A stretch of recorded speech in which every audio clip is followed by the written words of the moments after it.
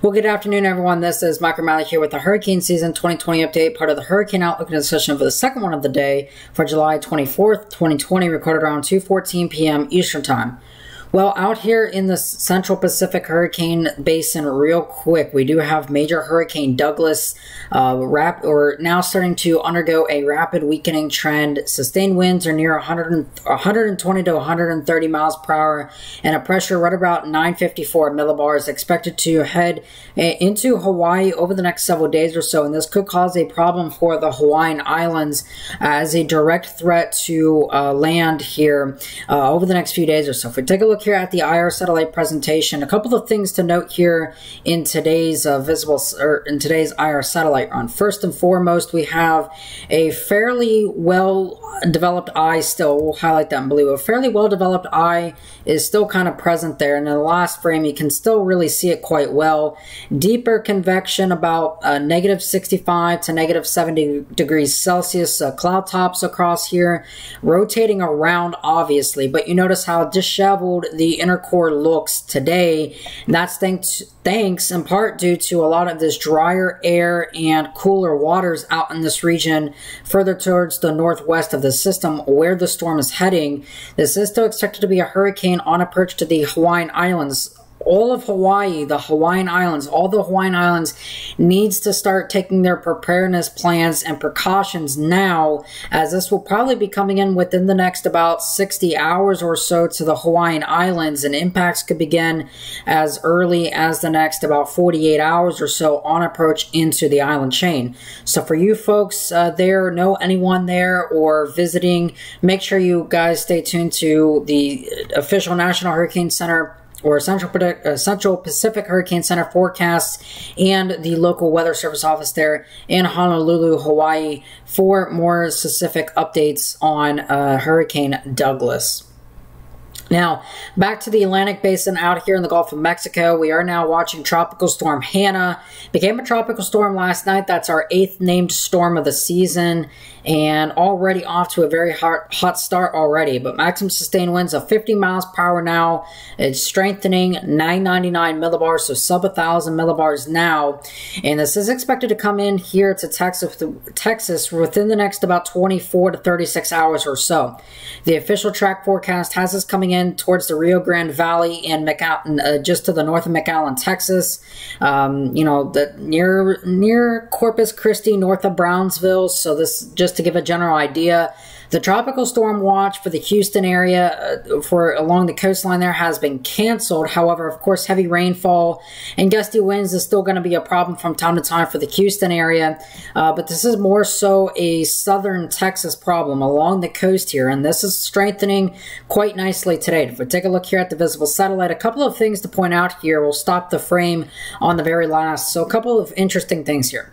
First of all, you notice we have a lot more cumulus clouds over the uh, Texas area right now, over the continental landmass here, indicative that we do have a rising air mass across this area that's backfeeding into tropical storm Hanna over here. So all of this uh, cumulus field over here, it's developing thunderstorms over the water. It's getting pulled in.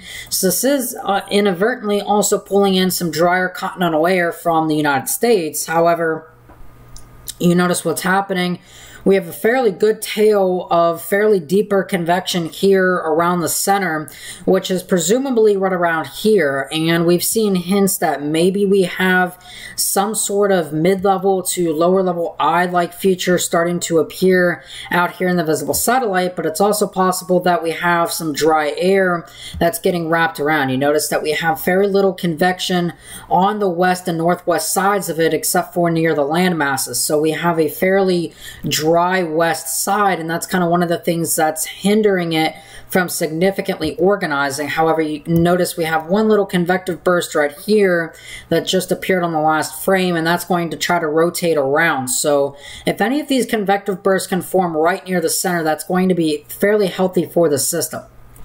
Now, if we take a look here at the, the uh, radar presentation from Houston, Texas here, this is the Houston radar site, which is a good about 200 miles away from the storm. We're shooting a beam height here of about 21,000 feet and about 146 nautical miles away from the radar site. So about 155 miles from the radar here for, and from a landmass.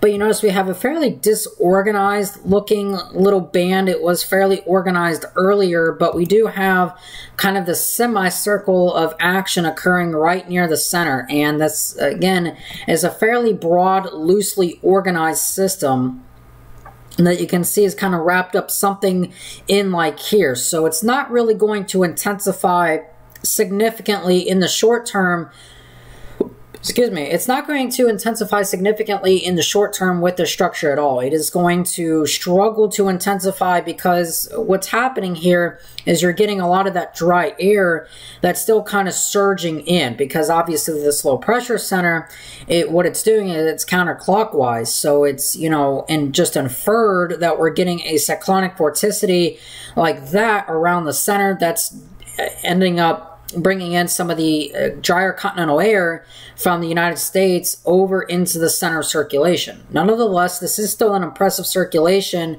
and could be near hurricane strength by the time it makes landfall in Texas by early tomorrow. We take here at a quicker visible satellite imagery here. If this wants to load, it's uh, a little bit kind of finicky with loading. If not, we'll just back it up. There we go. So you notice the visible satellite from about uh, 205 was fairly indicative that we have a fairly good banding effect here on the west, or I'm sorry, on the eastern side, but it's not really curving back around into the center, which infers that there still might be some northerly shear uh, that's being impacted, uh, blowing from the north to the south, and that might still be impinging on some of this convection rotating upstream extreme. Nonetheless, this still does look pretty impressive uh, for what it is right now. And if we just take a look at that, now you can see some of that convective burst uh, starting to occur there. So something that's been happening today in the model fields, especially and more notably the GFS forecast here. The GFS, this is valid as of uh, roughly about 7 or 8 p.m. tonight, about 8 p.m. this evening. And this shows about a thousand millibars. So currently right about where we're positioned, we're about 999. This is showing a thousand. So not too bad for the spatial resolution of the GFS. But you notice here's that dry air. That's the dry continental air from Mexico and Texas that's being uh, entrained a little bit. And you kind of notice that dry slot right here, how that's a little bit of a dry slot that from time to time, and especially over here, is trying to rotate in from time to time.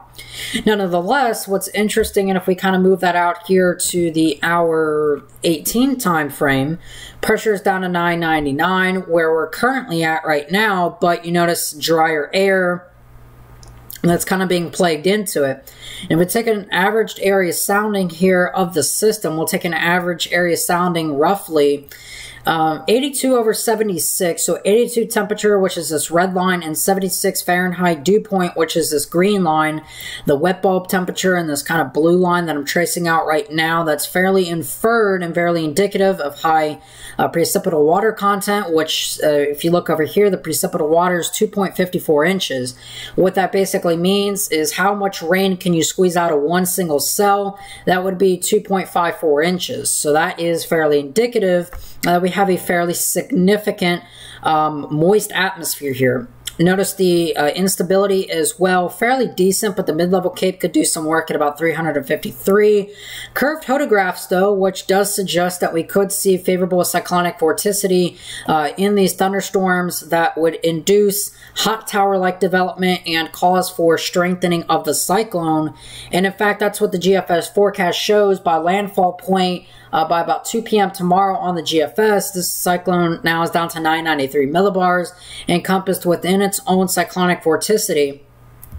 If we take this out just before landfall and do another averaged area sounding here, you can notice that we have 80 over 76. So this is kind of moistened a little bit in the atmosphere, uh, a little bit drier in the mid levels, probably roughly at about 300 millibars or so. So way up there, that's probably a good five or so kilometers up above with our mixing ratio that's pretty good in the atmosphere.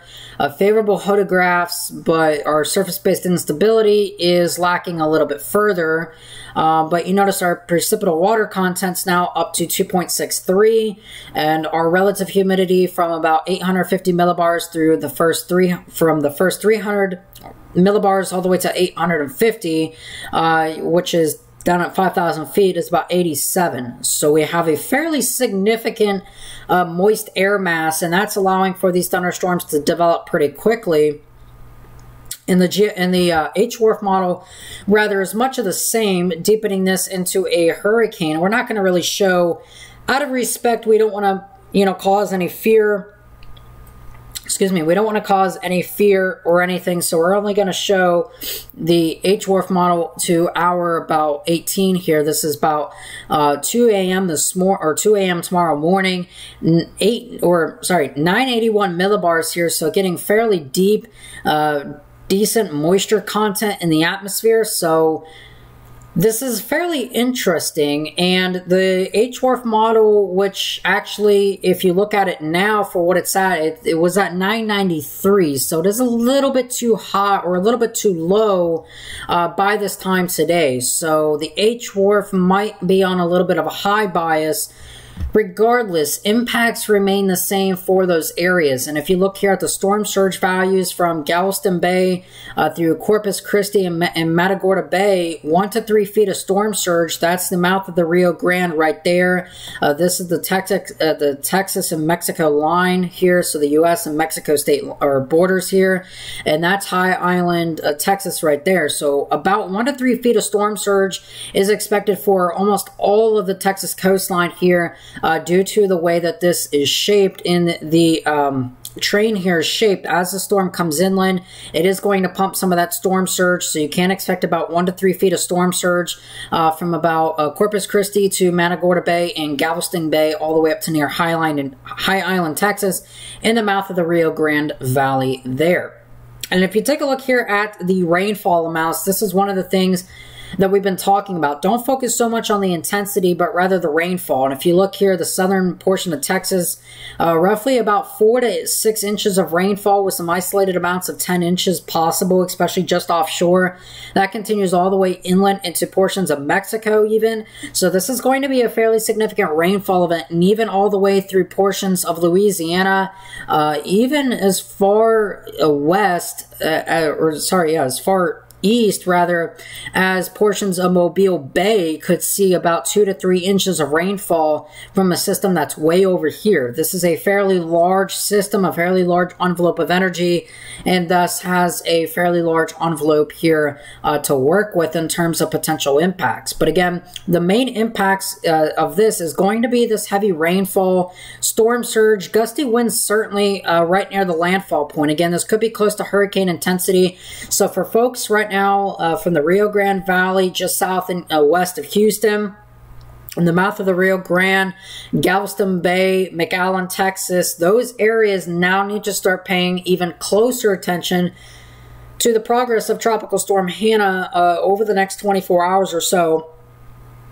And if you do voluntary evacuate, there could be some evacuations in low lying areas. So if you do choose to evacuate, uh, make sure to do so safely as, again, you know, with everything going on in the world right now, uh, we want you to do so safely. So make sure that if you are going to evacuate, know where you're going and get out as soon as possible because once uh, conditions deteriorate, if you live on the barrier islands there, uh, in the outermost islands, some of the uh, some of the bridges to other islands are going to start closing down and be impassable after a wind speed after wind speed uh, picks up um, to a certain extent because obviously the higher you go on a bridge, the more you're getting with that. So obviously, we want everyone to be safe there.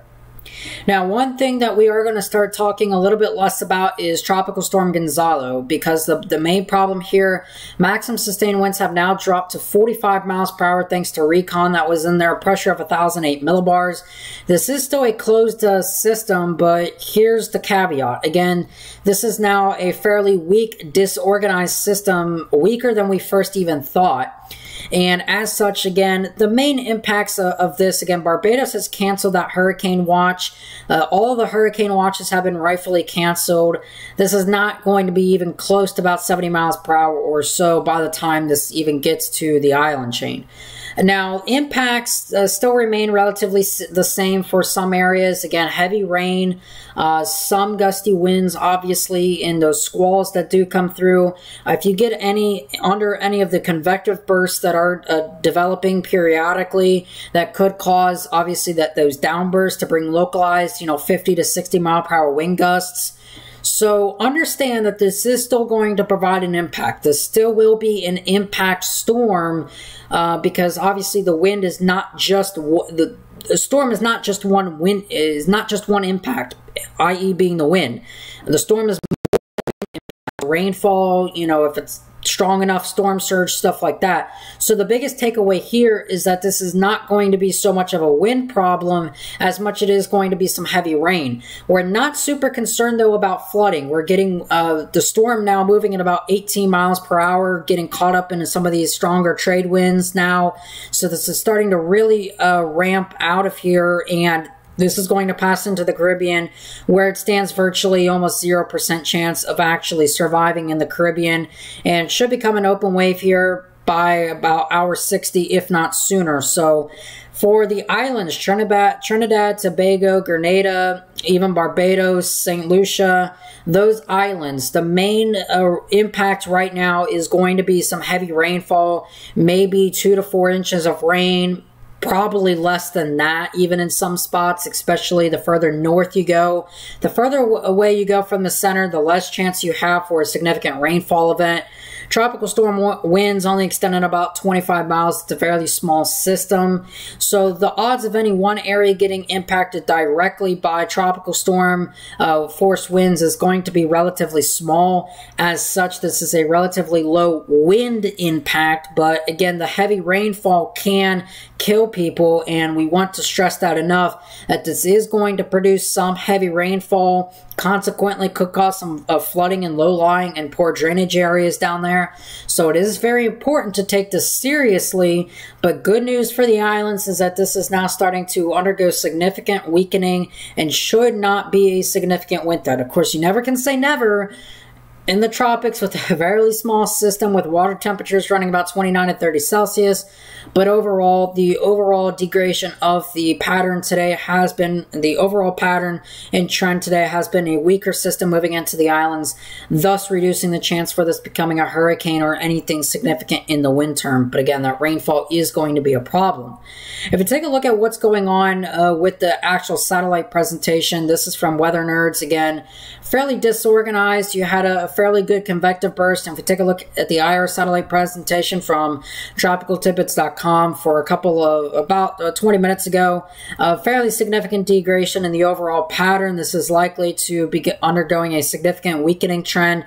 The center is now starting to become a little bit more exposed, and the recon plane that was in there only found maximum sustained winds closer to about you know 40 to 45 miles per hour on the far northwestern quadrant quadrant of the storm. So this is likely now undergoing a significant weakening trend. It could even open up into a wave pattern by the time it actually approaches the islands within the next about 24 hours or so. So this is going to be something we watch, but again, not really concerned about it for the most part at all.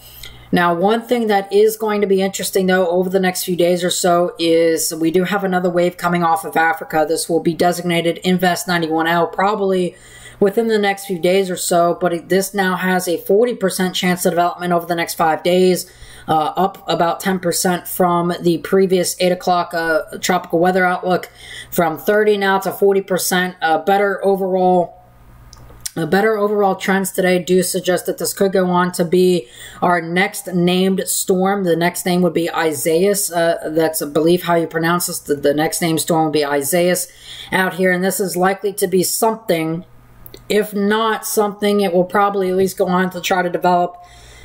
But overall, this does look like that this will try to go on to develop into probably um, uh, our first main development region hurricane. It's a little bit hard to say right now. Uh, the GFS forecast, though, over the next uh, couple of days here, again, this is Hanna over here, and this is Gonzalo over here. And you can see Gonzalo moves into the islands, weakens fairly significantly. The GFS forecast finally now starting to see Hanna after it was fairly uh, anemic with anything, but now started to finally see it. So the model playing catch up once again here. No real surprise. The GFS has played terrible with uh, forecasting these storms as of late.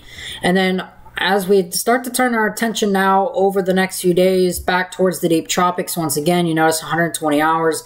There's something there's another wave out here. There's a wave a fairly big blocking out ridge of high pressure out here sending these waves into the islands uh, not something to be worried about right now, but you notice that this is going to be something we'll be watching over the next few days or so. Obviously, uh, you know, once we get the ensembles here for 12 for the 12Z models, you know, we'll share that on our Twitter. But again, for the most part, right now we have one wave right here, one wave right here. Will be fairly interesting to watch that over the next few days to see how that does occur. As a very lar- uh, loud uh, car horn goes off.